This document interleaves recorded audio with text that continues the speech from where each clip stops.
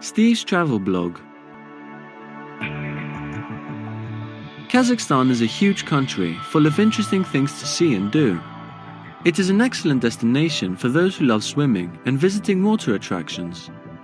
There is a beach in Astana that's unlike any other. It's indoors.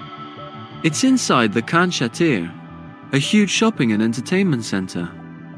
Although it isn't as big as some beaches, it always has a warm tropical climate, even when it's minus 30 degrees outside. The white sand comes from the Maldives, and the water is lovely and warm. Another great place to visit is Almaty Central Park. It is home to the amazing Aqua Park, an excellent place to escape the summer heat. In August, it can get as hot as 35 degrees, so it's really nice to cool down in the pool and go on the water slides. If you want to go somewhere really different, then you should visit Chunza. It's much smaller than Almaty or Astana, but it has more than 140 mineral springs. This place is a 5 hour drive east of Almaty.